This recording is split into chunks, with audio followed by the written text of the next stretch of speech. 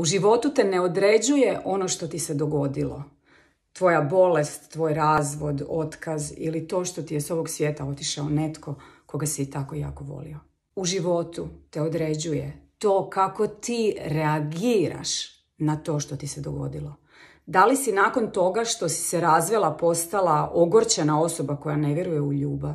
Da li si nakon svoje bolesti izgubila vjeru u to da se tvoje tijelo može uopće oporaviti? Da li si nakon toga što ti je netko s ovoga svijeta otišao potpuno zaboravila na sebe, potpuno prestala živjeti? U životu te određuje to kako ti reagiraš na to što ti se dogodilo.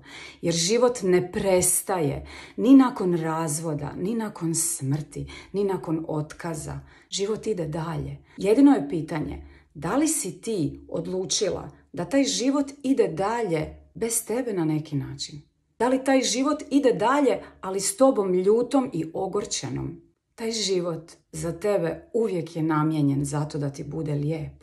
Zato da prođeš kroz te sve stvari koje ti se događaju. I da ako prolaziš kroz nešto takvo, da samo nastaviš prolaziti. Da nađeš u svome životu ono nešto lijepo na čemu možeš graditi dalje svoju lijepu budućnost. Ne možeš utjecati na to što ti se dogodilo u životu, ali možeš utjecati na to da li ćeš nakon toga biti čovjek sretniji ili nesretniji. Izbor je tvoj u svemu tome, prijatelju moj.